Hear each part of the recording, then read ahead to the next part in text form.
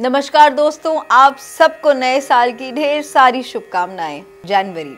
चलिए जी, जानते हैं कन्या राशि के बारे में।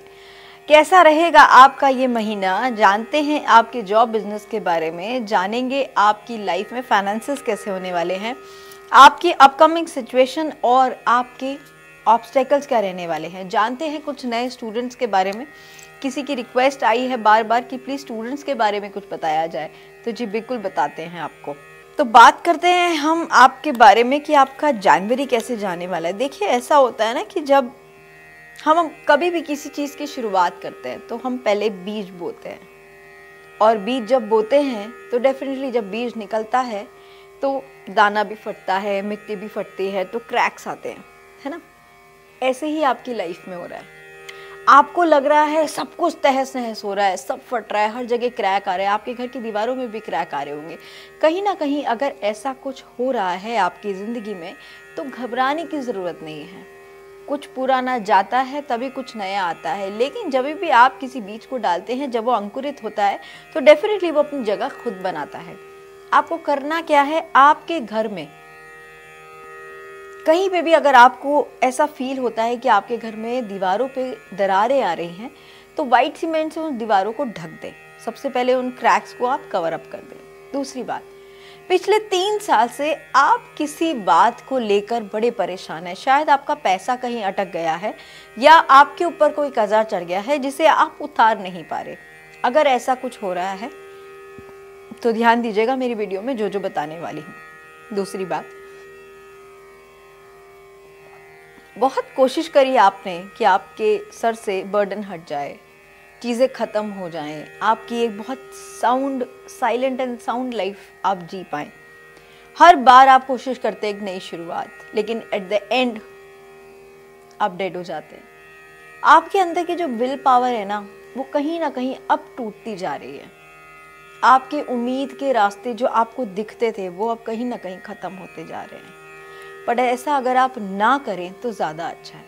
इसका सबसे बड़ा सोल्यूशन आपके घर में जितना भी इलेक्ट्रॉनिक सामान, जो काफ़ी समय से ख़राब पड़ा है, जो आप यूज़ नहीं कर रहे, कृपया करके घर से बाहर कर दीजिए। पुरानी लकड़ी अगर आपके घर की छत पे रखी है तो उसको भी निकाल दीजिए। या कोई भी ऐसा लोहे का सामान जिसमें जंग लग चुकी है, जो आपके यूज़ में नहीं है। कृपया करके इन सब चीज़ों को अपने घर से बाहर निकाल दीजिए, क्योंकि घर में जैसे ही आप साफ़ सफ़ाई करेंगे, पुरानी चीज़ें जाएँगी, तभी नई चीज़ें आएँगी। ये सब कर लीजिए। पैसा आपके भाग्य में लिखा है। कर्ज आपने चढ़ा ज़रूर लिया है, बट उतर भी जाएगा। ये उपाय कर लें। आपकी फैमिली में कोई ना कोई ऐसी रिनाउंड या रिस्पेक्टफुल और मेच्योर लेडी है, या आपके फ्रेंड सर्कल में भी हो सकती है, या आपकी बॉस भी हो सकती है अगर आप अपनी लाइफ की पर्सनल चीज़ों के बारे में उनसे कुछ डिस्कस करें तो आपकी लाइफ की बहुत सारी चीज़ें हैं जो रिजॉल्व हो सकती हैं। बहुत एक्सपीरियंस लेडी है, बहुत समझदार लेडी है। सबसे बड़ी बात क्या है कि उस लेडी की लाइफ के जो एक्सपीरियंस है, वो ऐसे हैं कि सिर्फ़ क्वेश्चन से ही she can give you an answer कि बेटा ये सही नहीं है, ये गलत है, ये ऐसे ऐसे उनकी गाइडेंस आपको बहुत हेल्प करेगी। अपनी ज़बान पे लगाएँ थोड़ी सी लगाम, क्योंकि जब आपको गुस्सा आता है, आप बहुत क्रूर बोलते हो, बहुत गलत बोलते हो, वो नहीं बोलना, है ना? जब भी आप इन चीज़ों का खास ख्याल रखेंगे, किसी की बात, आपकी बात से किसी का दिल ना दुखे, अगर आप इन चीज़ों का ख्याल रखेंगे तो आपकी लाइफ में ऐसी बहुत सारी प्रॉब्लम्स हैं जो सॉल्व हो सकती हैं, क्योंकि आपकी बात, देखो, आदमी लोग बात करते हैं ना तो कुछ भी बोल देते हैं। तो फ़र्क नहीं पड़ता। लेकिन जब एक आदमी, एक औरत को कुछ कहता है ना, चाहे आपकी छोटी बहन हो, चाहे बेटी हो, चाहे बीवी हो, चाहे माँ हो, आप कह देते हो। लेकिन औरतें कैसी होती है ना, वो सेंसिटिव होती हैं। उनके दिल में ना बात बैठ जाती है। तो आपकी कुछ ऐसी कही हुई बातें किसी के दिल में लग गई। कृपया करके उनसे माफ़ी मांग लीजिए, क्योंकि आपके पैसे का रास्ता उन्हीं से होके जाता है। अगर ऐसा कुछ है तो इस बात को करके जल्द से ख़त्म कर दीजिए। बात करती हूँ किसी स्टूडेंट्स की। तो अब जो स्टूडेंट्स लाइन में हैं, जो ऑलरेडी पढ़ाई कर रहे हैं, अब उनका दिल हो रहा है कि चलो हम कुछ पैसे भी कमा लें। तो अगर आपका ऐसा कुछ विचार बन रहा है तो बिल्कुल आप जॉब भी कर सकते हैं। पढ़ाई के साथ साथ आप जॉब करें, क्योंकि आपके जो फ्यूचर गोल्स हैं और आपकी जो वे जो डायरेक्शन जिस डायरेक्शन में आप जा रहे हैं, वो थोड़ी लग्जरी सेगमेंट पे आप जा रहे हैं। तो जब आपकी लाइफ ही लग्जरी सेगमेंट पे हो जाएगी तो डेफिनेटली आप एक अर्निंग जोन पे तो जाएँगे, क्योंकि आप वो थोड़े से खुददार। आपसे बार बार किसी से पैसे मांगे जाते नहीं, चाहे आपके फादर हो, चाहे मम्मी हो, चाहे भाई हो या बहन हो, है ना? आपसे पैसे नहीं मांगे जाते। आपको लगता है सबसे अच्छी बात है कि खुद कमाओ, अपने पे अपना कमाओ और अपने पे उड़ाओ। ये सबसे अच्छा तरीका है। अगर ऐसा है तो कर लीजिएगा, कोई प्रॉब्लम नहीं है, ठीक है? गाइडेंस की बात करते हैं, जितनी होप आपने रखी है लाइफ में, डेफिनेटली, जो होप है वो आपके लिए काम करेगी और आपकी होप ही है जो आपको एक फ्रूटफुल रिज़ल्ट दे सकती है बट आपकी ऑब्स्टिकल्स क्या हैं? आपको ऑब्स्टिकल ये है कि आप बहुत एक फियर में हो, कहीं ना कहीं अपने आप को ट्रैप्ड फील करते हो हर समय पे। आपकी हर रास्ते में आपको लगता है, नहीं नहीं, गाड़ी चलाऊँगी तो लग जाएगी। नहीं यार, मैं इंटरव्यू दूँगी तो मैं फेल हो जाऊँगी। ऐसा नहीं होता है। ऐसा नहीं होता है। जब भी कुछ करते हो, नया कुछ भी करोगे तो कहीं तो पहुँचना पड़ेगा, कुछ तो करना पड़ेगा। देखो, जीवन के दो ही रास्ते होते हैं, आर या पार। हाँ या ना, बीच का तो कोई रास्ता नहीं है। अब जॉब में जाओगे, या तो सिलेक्शन होगा, या सिलेक्शन नहीं होगा। दूसरा तो कोई, तीसरा तो कोई ऑप्शन ही नहीं है ना लाइफ में।